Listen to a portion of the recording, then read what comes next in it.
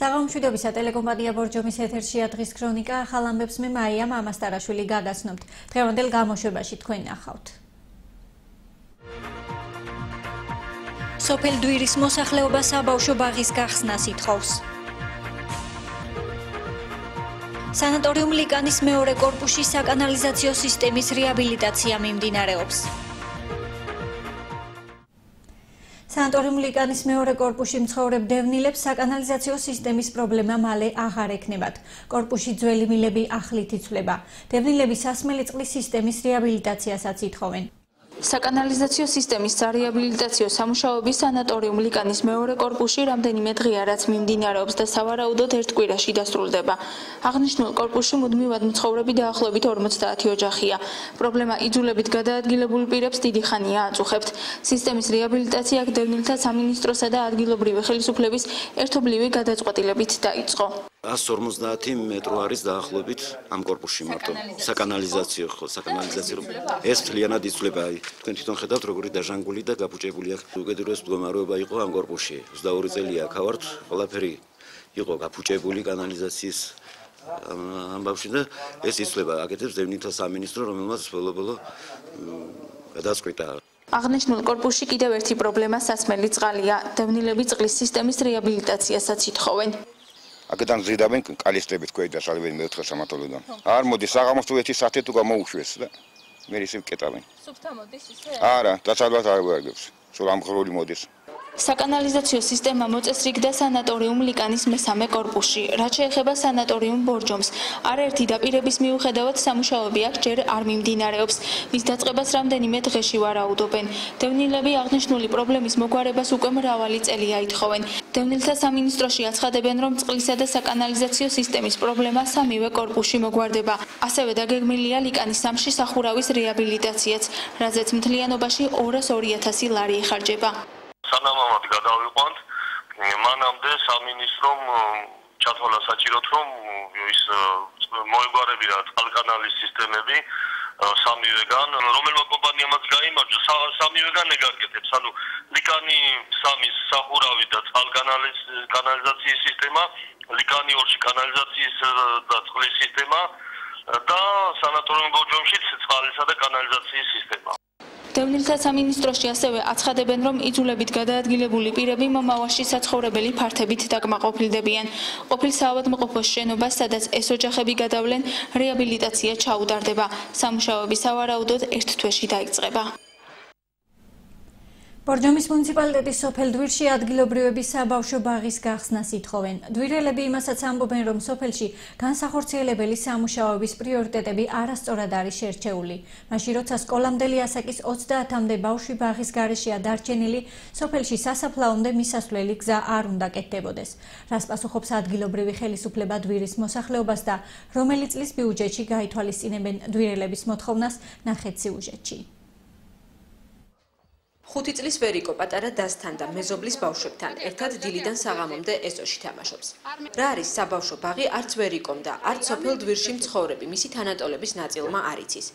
ცირეწლოვანი ბავშვების მშობლები დვირში საბავშვო ბაღის გახსნას ითხოვენ. ბავშვების ნაწილი დვირიდან ბაღში ბორჯომში დახავთ. სოფელი ვითხოვთ საბავშვო ბაღს, იმიტომ რომ ძალიან გვიჭირს. მე მაგალითად სოციალურად გაჭირებული ოჯახი ვარ, 66 ქულით. არა მაქვს საშუალება რომ მე ყოველ დღე ბორჯომში ვატარო, ჩემ ოჯახში 6 სულიანი ოჯახში ვარ, არავინ არ მუშაობთ, მარტო ვარ, მარტო მე პენსიონერი. 150 ლარის პენსიით, როგორ ბორჯომშიც ვატარო ყოველ დღე საჭმელიც უყიდო, ოჯახში რამდენი რამე უნდა ბავშვს. სადაც წავალ ბაღიში სამუშაოა თუ სადაც არის საქმე ყველგან თან დაგხვავს აბა უპატრონოს ვერ დავდოვებთ ვერ დავუდოვთ ახლა მარტო მე წამოვიდე ბაღში ვიმუშაო შულო იმდენი ძალა არ მყოფნის რომ მოხმარება ხომ იდა ძალიც მომღავს შვილიც მომღავს ბავშვიც მოგხვავს ძალა დვირელები ამბობენ რომ სოფელში სკოლამდელი ასაკის 30-მდე ბავშვია საბავშვო ბაღის გახსნის მოთხოვნით მათ ადგილობრივ ხელისუფლებას არაერთხელ მიმართეს რომ მიმართეთ, გავაკეთებთო, გავარემონტებთო, არც გარემონტ და არც კერძოდ ხოვეთ ვიქირაოთ, მშობლები გადავიხდით, არც ის ქირაობეთ არ გაკეთდა და არ ვიცი. თვირში არსებულ ამ შენობაში წლების წინ საბავშვო ბაღი იყო განთავსებული. შენობა ამ ეტაპზე რეაბილიტაციას აღარ ექვემდებარება.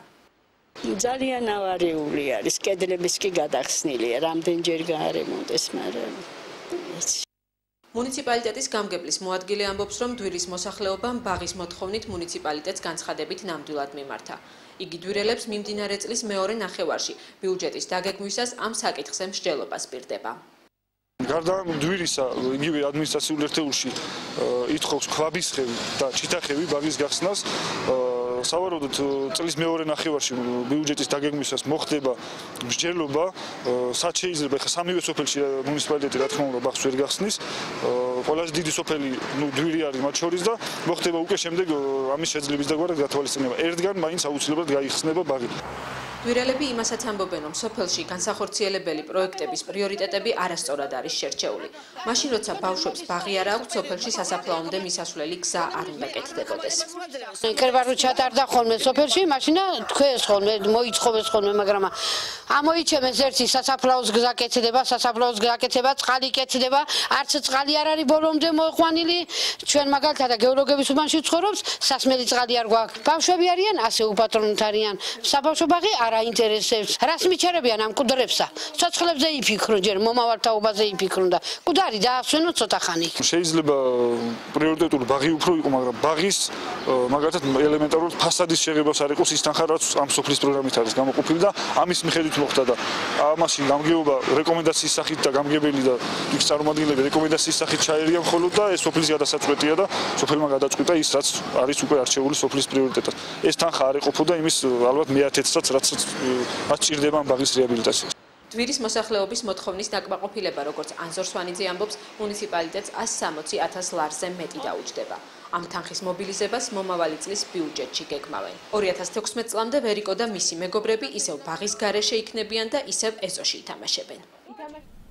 ვალეში სტალინის ქუჩის მცხოვრებლებს უსახლკაროდ დარჩენა ემუქრებათ. 208 ადამიანის ცხოვრება ავარიულ შენობაში უწევს და ყოველდღიურად საცხოვრებლის დანგრევას ელოდება.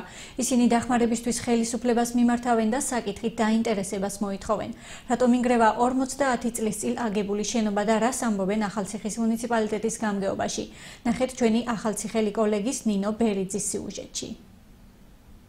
ფასადისგან გაყვითლებული ჭერი, ნაპრალები, ჩამოშლილი ფასადები და დეფორმირებული ფანჯრები. ასე გამოიყურება ვალეში სტალინის ქუჩაზე მდებარე корпуსები. შენობებს, რომლებშიც 208 ადამიანამდე ცხოვრობს, ბზარები ყოველდღიურად ემატება. უბნის მაცხოვრებლები კი მის ყოველდღიურ დაანგრევას და უსახლკაროდ დარჩენას ელოდებიან. მათი თქმით, ვალეში წლებია პრობლემა არსებობს. ხელისუფლებისათვის კი საკითხი ცნობილია, თუმცა ამ დრომდე მისი მოგვარება ვერ ხერხდება.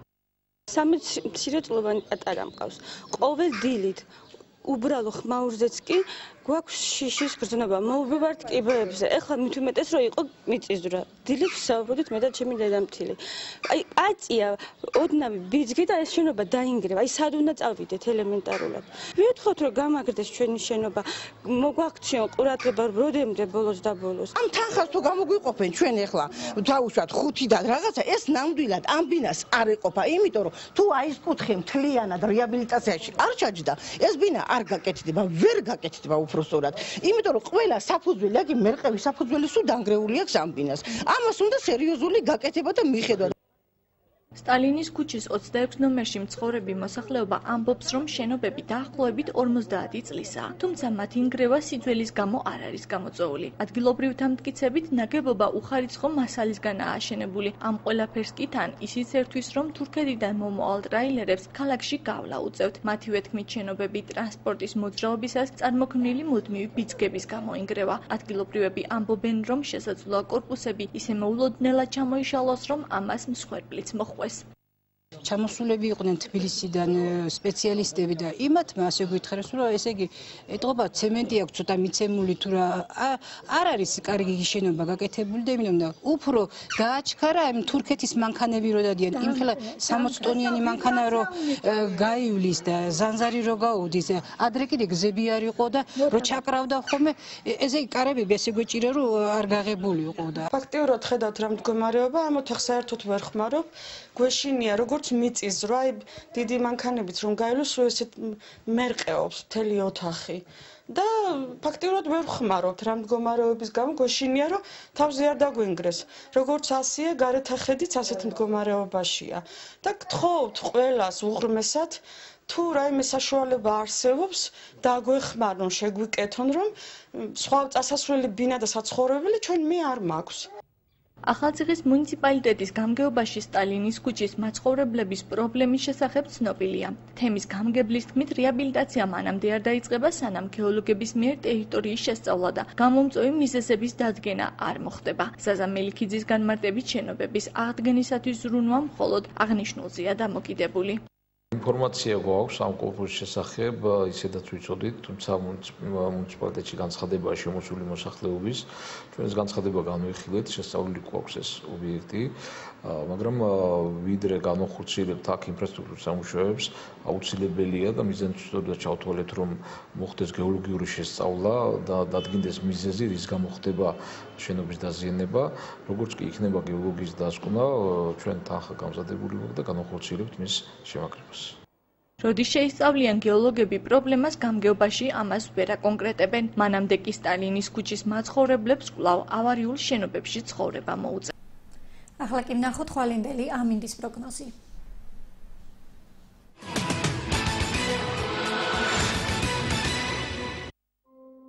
ხვალ 1 მაის ბორჯომში მზიანი და ღრუბლიანი ამინდია მოსალოდნელი. ჰაერის მინიმალური ტემპერატურა 9, მაქსიმალური კი 19 გრადუსი დაფიქსირდება. დილით მზე და მცირე ღრუბელი იქნება. 10 საათზე ჰაერი 14 გრადუსამდე გათბება. 19 გრადუსამდე მოიმატებს სითბო 13 საათზე. ასევე 19 გრადუსი დაფიქსირდება 16 საათზე. საღამოს ტემპერატურა 16 გრადუსამდე დაიწევს. 12 გრადუსი იქნება 22 საათზე. რაც შეეხება მომდევნო დღეებს, წვიმიანი ამინდებია მოსალოდნელი. იწვიმებს 2 მაისს ტემპერატურა 17 გრადუსი. ცირენალექი იქნება 3 მაის სითბო 21 გრადუსი. წვიმა და 15 გრადუსი იქნება მაქსიმალური ტემპერატურა 4 მაის. ასევე 15 გრადუსი დაფიქსირდება 5 მაის. ნალექი შეწყდება 6 მაის სითბო 18 გრადუსი.